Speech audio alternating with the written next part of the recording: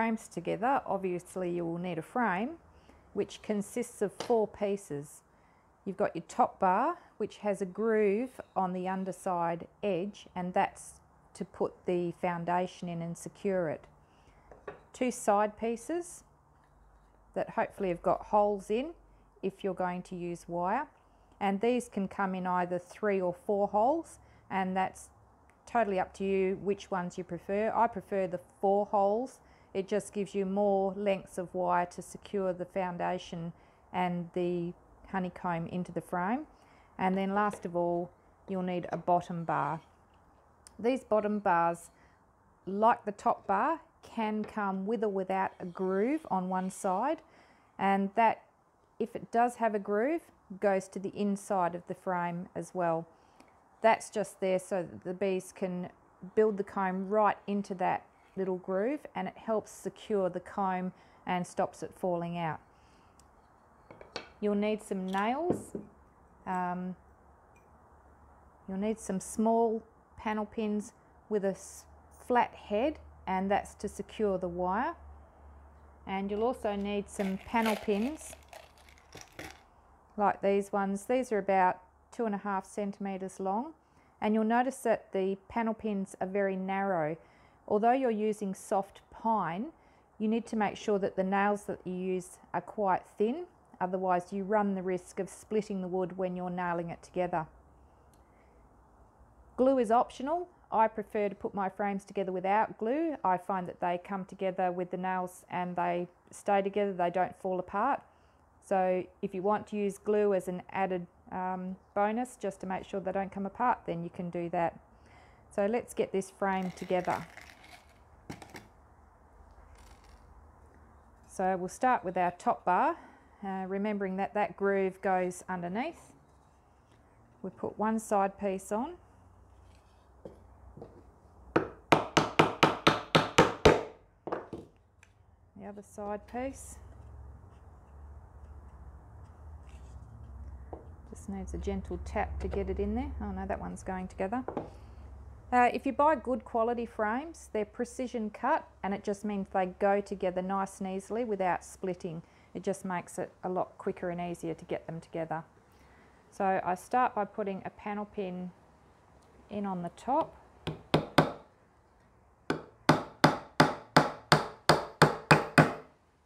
And then another one on the other side.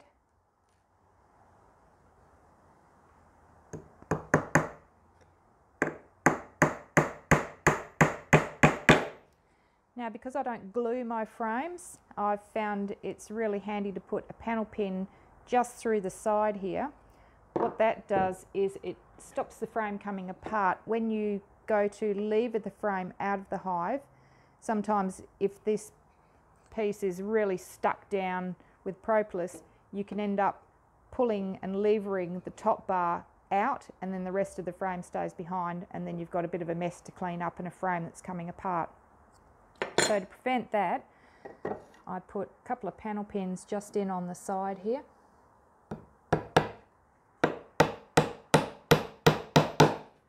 And one on the other side.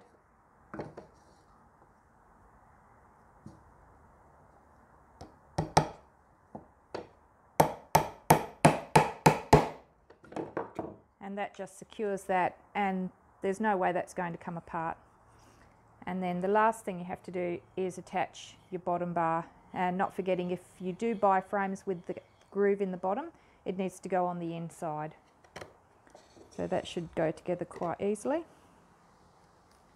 And I just secure that with one nail either end.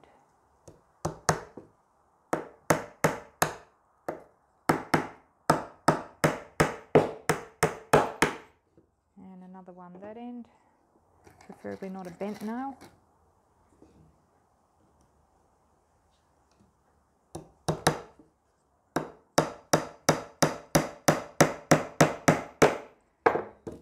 And I don't worry about securing these bottom pieces with a side nail because when you're levering the frame out, all of the pressure is going to be on this top bar and the bottom bar tends to just follow and I've never had a bottom bar come apart uh, but you can secure it with more nails and glue is optional, totally up to you whether you want to use glue on your frames.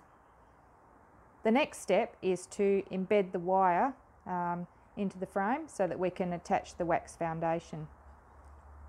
So for that we need these small nails that have got a flat head and the reason why we need this slightly flattened head is to secure the wire underneath to stop the wire pulling off. So you need two of those and depending on how many holes you've got will determine where you put the nails. So you start by putting one just here on the side. Nail it about three quarters of the way in and just leave a slight gap there so that you can secure the wire. Because my wire is going to run from here back around and back and I've got four holes I need to secure the bottom of that wire on the same frame so I'm going to put another nail down here again leave a bit of a gap because we need to attach the wire now if my frame only had three holes then I would put my top nail here and my bottom nail would be on this side down here so getting the wire in go to a bee supply place and buy some nice thin narrow stainless steel wire and that's what you're going to put in your frame. So I tend to do this just by hand so it can be a slow tedious process. Some people make up a bit of a jig which they put the frame in and it has rollers on either side so that you can easily run and pull the wire and it just runs around the rollers makes the job a bit quicker, but I'm doing it the slow way. So start by running your wire through because you're going to do this all in one go with one piece of wire. And back again.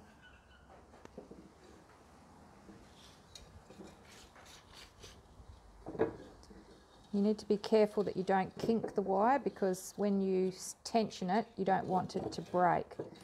So keep everything straight without kinks. And then it's just a case of feeding it through. Okay, give yourself a little bit of an overhang here so that you can now attach this end to this nail. So this is where you need some side cutter pliers and this will do the job right through to the end. So grab your wire and wrap it around a few times, that bottom nail, and then secure that nail back down to the wood. Okay, I tend to just cut off that last little bit of overhang wire because it can be a bit of a trap and you can pinch um, through the glove and get a bit of a splinter in your finger. So now that that is secure, we can start tensioning the wire back through to the top nail. You want the wire nice and tight, almost to the point where you can pluck it like a guitar and get a tune out of it. So the way I do that is to grab the wire with the pliers without bending the wire and pull it and bend it around and hold it. If you pull on the wire too tightly, you will snap it. So there is some give in this wire. You can feel it stretching when you pull it. And after a little while, you'll get a feel for the wire and you'll know just how much tension to put on it without snapping the wire. So I pull on the wire and then hold it with your hand, run that around, grab the wire from there, give it a pull, tighten it, bend it, slide that along, give it a bend, it'll help secure it. Again, this end, grab the wire with the pliers, pull it tight, bend it sideways, secure it with your thumb, pull that one through to the last one. And then from here, last pull on the wire.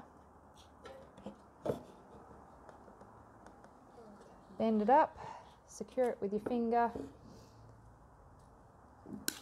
cut that off, and then grab that wire, wrap it around a few times. Secure it with the nail.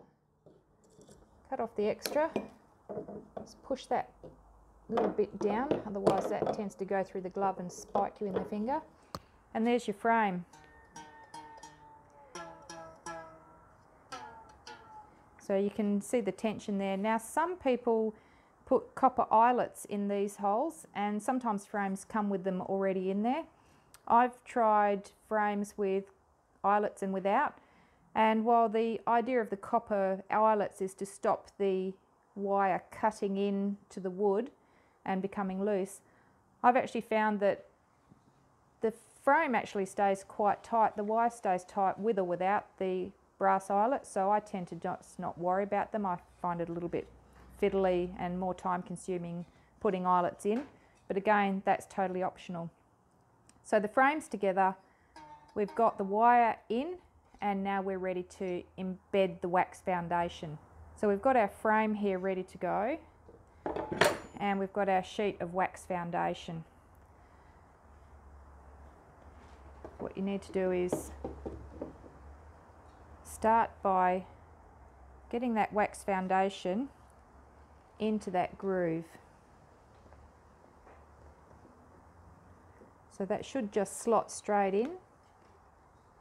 And ideally, if that foundation sheet is the right size, it should be sitting just neatly inside the entire frame.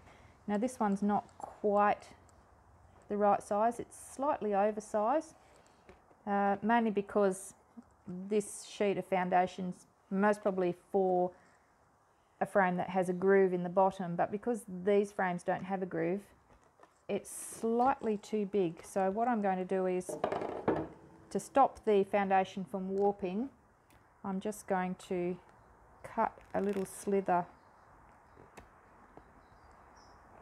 off the bottom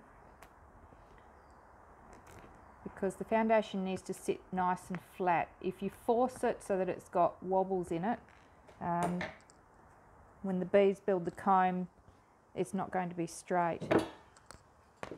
So now I can put that piece of foundation in, get it into that groove and push it right home there. The foundation needs to sit all on one side of the wire like this and you can see there's a slight gap and that's perfect. That's how we want the foundation to sit. And now all we have to do now is embed that foundation onto the wire. So that's the next step. So for that, you just need to get out your iron and your ironing board. Now, to embed the wax onto the wire, I've just got my ironing board. I've put an old towel on it just to protect the cover, just so that I don't drop any wax on it. Um, so when I'm ironing my clothes next, I don't get waxy spots on them. Obviously, I need my iron. Now, an important thing when you're using the iron, it doesn't really matter what heat setting you have. Um, I tend to have it right up to max. But the most important thing is that you turn the steam function off. You don't want the steam getting on the wax because it will damage it. Uh, all you need is the heat. So once the iron is hot, you're ready to go. Now the other thing you'll need is a bit of a board. It needs to be slightly smaller than the size of the frame because you need the board to sit neatly inside the frame so that it can push the wax down onto the wire. This one was made and I purchased this from a bee supply place but you can just as easily make one of these yourselves or in the past I've actually used an old wooden chopping board from the kitchen which was about the same size. So put your board down underneath. Make sure your wax is sitting nicely in that top bar groove all the way in. And then you're going to lay that down on top of the board with the wire on the top. And you start at one end uh, and push it down and that way you can see that the wire is being pushed down nice and neatly and tightly onto the foundation. Now embedding it with an iron takes a little bit of practice but once you get the hang of it it's quite quick and easy. So I use the tip of the iron and you might see that I've actually worn some little grooves in the top of my iron which doesn't affect the iron for ironing clothes but if you're a bit particular about your clothes then you can always purchase a, a cheaper iron that doesn't have a steam function and that way you can use that iron for embedding your foundation and save your good iron for your clothes. So what you need to do is get the tip of the iron on the wire and you run the iron down the wire very quickly. You don't need a lot of heat and so I just use my elbow arm to push the wire down, start at the end and literally just run and it's that quick. Next wire, run it down and again and the last one there and then very gently I lift that off, turn it around and then all I have to do is just this other side like that. There's two, there's three, and there's four. It's as simple as that. And then when you lift it off, voila, your foundation is totally secured uh, to the wire. So there's a frame all put together and ready to go.